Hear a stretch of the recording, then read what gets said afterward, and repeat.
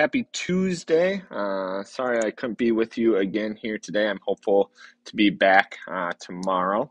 Uh, today we are going to continue here with 3.2.4. We're looking at uh, more conditions for triangle similarity. Uh, again, no tests this week, um, just lessons. So we'll finish out the week with two more lessons as well. Uh, but we are going to continue here with the lessons today. So if you have the ebook open, I'm going to start with that. I'm hoping today should be maybe a little bit easier, a little less um, long than than yesterday, uh, but we'll see kind of how it goes. So it says this: so far you have worked with two methods for determining that triangles are similar. Okay, we have looked at angle angle similarity, and we have looked at side angle side similarity. Okay, We've hinted at the one that we are going to look at today. We've actually even done some of that on the practice test and things like that. Um, but today we're going to look at it in more detail. Okay. Are there other ways to determine if two triangles are similar? Today we will investigate similar triangles and complete your list of triangle similarity conditions. Questions that you should be asking yourself and your team today. How much information is needed? Are the triangles similar and how we know that? And can I find a triangle with this information that is not similar? Okay. So again, I would encourage you to pause the video. Don't just watch them straight through. I do want you to continue to still work on these some here on your own. So getting started with 82, it says Robel's team is using the side angle side similarity condition to show that two triangles are similar. This is too much work, Robel says. When we were using the angle angle similarity condition, we only needed to look at two pairs of corresponding parts. Let's just calculate the ratios for two pairs of corresponding sides to determine that the triangles are similar. So, it says if two pairs of corresponding side lengths share a common ratio, must the triangles be similar? If not, what additional information is needed? Investigate these questions below. So, again, I would encourage you to pause these here and answer these two questions here uh, pretty quickly, I think. I would say about three to five minutes, you should be able to work through these. So pause the video here and try to do A and B. So, letter A says Robel has a triangle with side lengths 4 and 5. If your triangles have two sides that share a common ratio with Robel's, does your triangle have to be similar to this? Or is side side similarity a valid similarity condition? This one is no. Okay, you do need to have, we need all sides to be proportional. Or angles to be congruent. Okay? There's actually infinite, infinite possibilities with only two sides. Okay. Then in letter B says, I want to test angle side angle similarity, which means I start with two pairs of congruent angles and the length of the sides connecting these angles are proportional. Would that be enough information? This one is yes. This is the same as angle angle similarity. We only need two angles. So if we have two angles, we don't really need the sides. Okay? So looking then at 83. Okay, it says, what other triangle similarity conditions involving sides and angles might there be? List the names of every possible triangle similarity condition you can think of involving corresponding side lengths and angles. Okay, so right now there are really quite a bit of these. So go ahead and list as many as you think. This should just take a minute or two and then um, I'll check back in. So pause here, list as many as you can. So again, really, there's quite a bit of different things you could have written down. We could like angle, angle, similarity, side, side, side, side, angle, angle, side, side, angle, angle, angle, side, side, angle, side, angle, side, angle, and so on and so forth.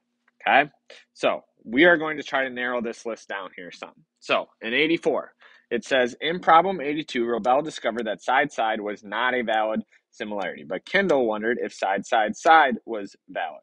before experimenting, make a prediction. Well, we should already know this, right? We should know that all sides, all sides proportional works. Okay? So then in letter B, it says, Can you create two triangles with proportional sides that are not similar? Investigate, sketch your shapes, and write down your conclusion. So with this one, okay, if corresponding sides share a common ratio, and this is really what I mean by saying proportional. Proportional. Okay? Then corresponding angles are equal and the more important part, triangles are similar. So we're going to get a little bit of work with this. Okay, 85, this is like the main problem we have to be able to understand. Okay, so similar side, side, side, similarity. It says this Kendall observes that whenever she builds triangles with the same three lengths, the triangles always end up congruent. So I'm going to say pause the video here, try to work through these. This one might take you close to 10 minutes because you got a lot of parts here, A through F. Okay, but take some time really try to work with these because 85 is like the main problem that you have to be able to understand by the end of today. Okay? So, looking at this one, are two triangles with the same three side lengths always congruent? Okay? This one, yes. Side, side, side congruency um, is when a zoom factor is 1. Okay? We'll prove this later on, but at this point, I will just take it as fact. Okay? So in letter B, okay, it says Kendall now wants to figure out if three pairs of corresponding proportional side lengths or side side side similarity can be used to determine if triangles are similar. She decides to test triangles with side lengths 4, 6, and 8, and 6, 9, and 12. Okay? And this is shown here down here. Okay, so we got kind of a weird break here, but we'll be all right. So it says, mark the point G at the place four units away from the point D on DF. Okay, so we'll say this is point G, this is going to be four, this is going to be two. Okay, now, uh, so we marked point G on DF. Then eight units away from point D on DE, mark the point G. Okay, so basically, when we're all said and done here, this is what we have. Okay, so I'm going to draw this here. I have the same triangle. Okay, and I have this.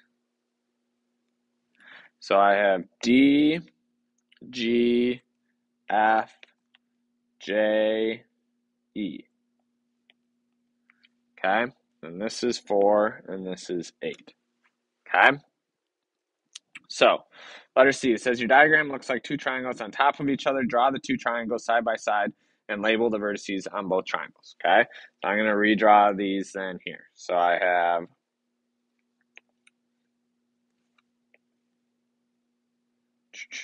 D, F, E, and I have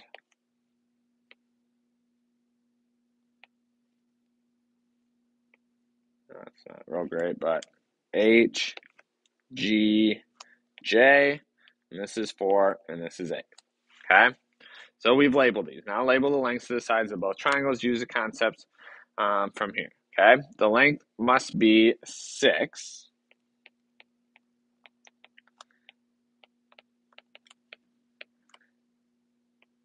by the side angle side similarity. Okay, so if I look at GJ, this length here, we can set up a proportion to solve this. Okay. Letter E says, knowing that the dimensions of triangle GHJ, what can you conclude about triangle DEF and triangle ABC? Okay. So here's what we can conclude. Triangle ABC has the same lengths as triangle GHJ. Then triangle ABC is similar to triangle DEF. Then lastly here in letter F says, can you extend this reasoning to other pairs of triangles with three pairs of proportional sides? Discuss with your team. Okay. Our conclusion here is yes, this logic works for all pairs of triangles with three proportional sides.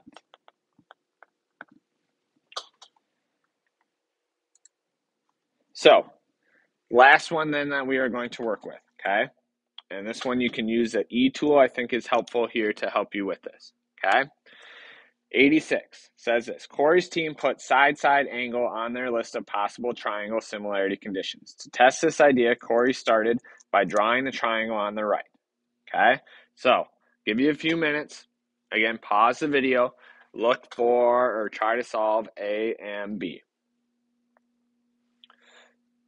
So in letter A, okay, it says use the technology tool uh, and determine whether side-side angle is a valid triangle similarity.